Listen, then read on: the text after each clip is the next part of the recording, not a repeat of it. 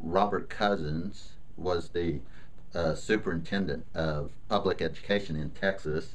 Uh, I believe he got his position in 1904. And one thing he felt that was that was needed, and that a lot of people needed, was that there should be a normal college in West Texas, in this region. Uh, the state did say finally it went through a little, you know, whatever negotiations or whatever, but they said what we're going to do is take bids.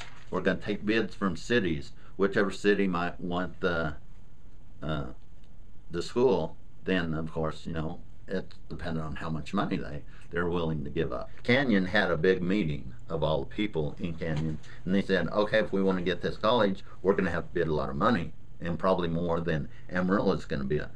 Uh, so they do that.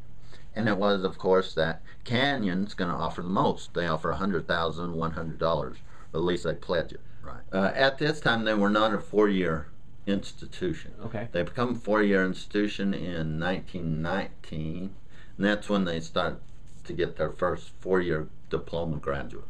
During World War II, uh, some people joked, well, you should change the name to the West Texas State College for Girls because, you know, there are only females here, or mainly females here. Uh, after World War II, of course, with the GI Bill, the veterans uh, came in in such numbers that the there was not enough room for them. I mean, they were like veterans staying on cots in the gym. So, so uh, you know, they they got fed up with it, and they said, "We're going to go on strike."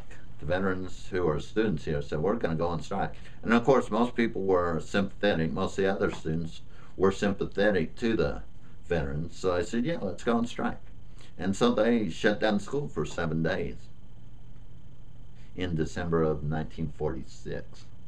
Uh, in 1951, Amarillo College uh, opened their doors to African Americans.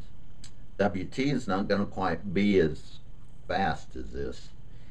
Uh, and going to try to remain segregated. Matthew Schiff, uh, Matthew Schiff, in 1960.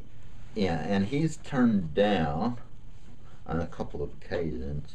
Uh, and so he goes to the NAACP and they file suit against WT. No, that didn't go over, and they said, well, you got to desegregate. So they did do that.